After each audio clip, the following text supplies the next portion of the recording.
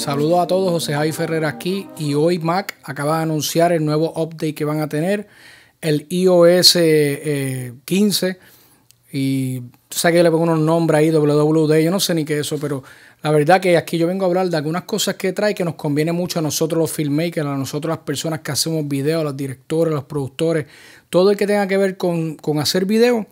Hay algunas cositas aquí que Apple acaba de anunciar que nos conviene mucho. Una de las cosas que yo me emocioné mucho es el ID scanning. Tú vas a poder tener tu ID como tu licencia o, tu tarjeta de, identificación, la vas a poder tener en el celular. Y este, ya están trabajando con TSA para poder hacerlo los viajes, para no tener que tú estar llevando tus tarjetas y esa estupidez antigua. Eso ya antiguo. Esto va a venir, ya eso debería ser digital. Literalmente es como que uno tiene una tarjeta física, ¿me entiendes? También tú sabes que ya tenemos eh, las tarjetas de crédito así, de esa forma, con el Apple Wallet.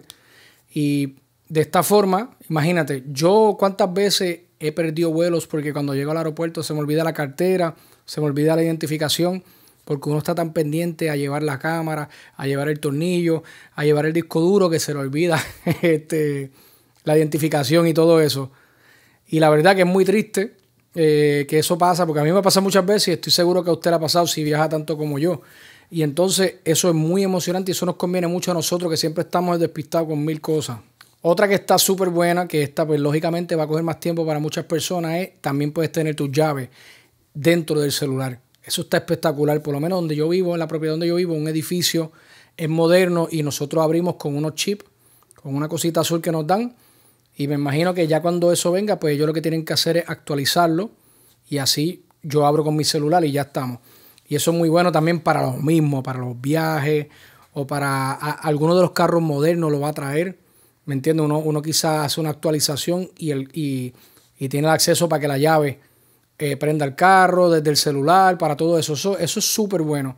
Porque también eso es otra cosa, estar cargando llaves, de que se te pierda las llaves de que llame una persona para que te haga una llave nueva, eso está bien antiguo y yo sé que no todo el mundo tiene acceso, yo sé que no, todo el mundo tiene un carro moderno, pero para los que lo vayan a tener, como usted, que si no lo tiene en el momento, lo va a tener en el futuro, pues es muy conveniente para nosotros. El nuevo iOS S de Apple tiene un multitasking chévere, dicen, un poquito antiguo porque ya esto Android lo ha hecho mucho, pero es chévere tú poder editar y a la misma vez ver un poquito de WhatsApp o hablar con la gente o ver otras cosas.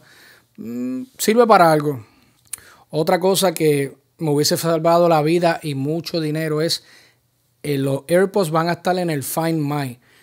Por ejemplo, si tú estás eh, en una filmación y tú tienes los AirPods, ¿verdad? Porque a veces yo me los pongo porque si alguien me llama, un cliente o algo, yo estoy filmando, yo puedo eh, escuchar al cliente y hablar con él mientras estoy con la cámara filmando, que eso es muy conveniente. Por eso es que yo compro AirPods pero se me han perdido como 10 veces ya. He gastado mucho dinero. Ahora, los nuevos sistemas de Apple y todo esto, eh, lo que va a tener ahora es que tú, por un ejemplo, si estás firmando en una localización, estás firmando en una casa, estás firmando en una discoteca y te va y dejaste los AirPods, te entra una, una notificación diciéndote, hey, está un poquito lejos, vas a dejar los AirPods y eso está buenísimo.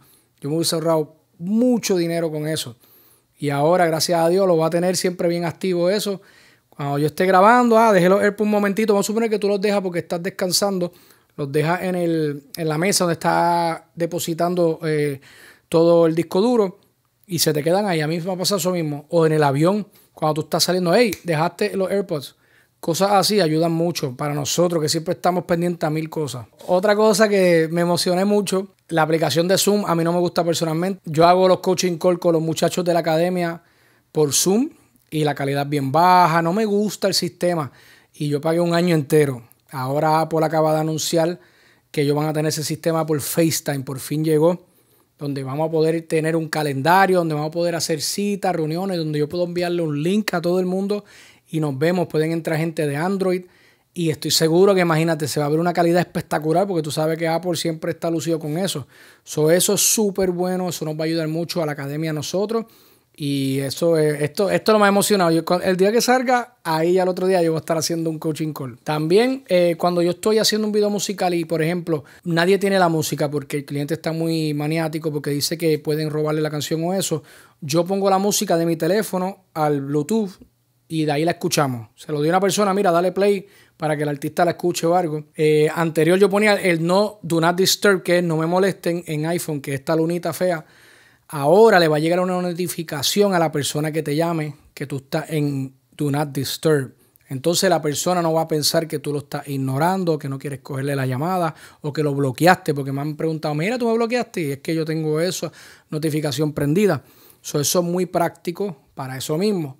Y si tú estás durmiendo algo, la gente sabe que es que, mira, estás ocupado en el momento, no te pueden molestar. Ahora mismo en este momento yo tengo el Do Not Disturb puesto y si alguien me llama, no va a saber que yo, tengo, yo lo tengo puesto, pero cuando esto ya eh, eh, salga el update ese, no sé, le va a decir a la persona no moleste, que, que Javi está en el no moleste mode. También otra cosa chévere que, que tenemos, el live text se llama.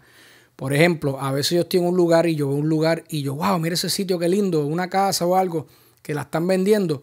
A veces esas casas, como llevan tiempo en el mercado y están cerradas, le están dispuestos a alquilarla por un día, por una afirmación o algo. Pues yo le saco una foto, pero mira, ahora si le sacas foto, eh, tú vas a poder guardar ese contacto porque te lee las letras, te lee el teléfono, y eso es muy bueno y muy práctico. Un ejemplo, si alguien tiene, si tú ves una idea, algo, algo que te inspire y tú lo retratas, pues tú puedes poner todo eso. Eso también es bueno para los recibos. Por ejemplo, si tú quieres poner un recibo en tus notas, no tienes que poner la foto nada más, él te lee el recibo completo y tú puedes ponerlo quizás las notas. Si tienes, vamos a suponer que, nosotros vayamos a hacer construcción y vamos a un y tenemos una lista muy larga de todo, tú le tiras una foto y eso lo convierte en texto, o sea, te lo lee y lo puedes copiar, lo puedes pegar en tus notas y ahí tú ves todos los gastos que tiene para la contable o para ti mismo, para que vayas manteniendo todo y no tengas que estar viéndolo, pidió algo de más o algo y no tiene que estar.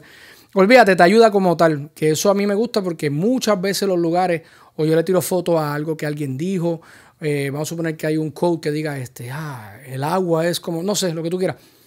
Eso como tal te lo va a copiar, eso es muy bueno también para nosotros. Bueno, y Apple anunció muchas cosas más, pero esas son las que yo veo práctico para nosotros, las personas que hacemos videos. Si tienes Apple, espero que aproveche esto y que haya hecho un poquito caso a este video para que puedas también hacerlo. Y bueno, muchas gracias como siempre. Creative Film Academy, aquí José Avi Ferrer.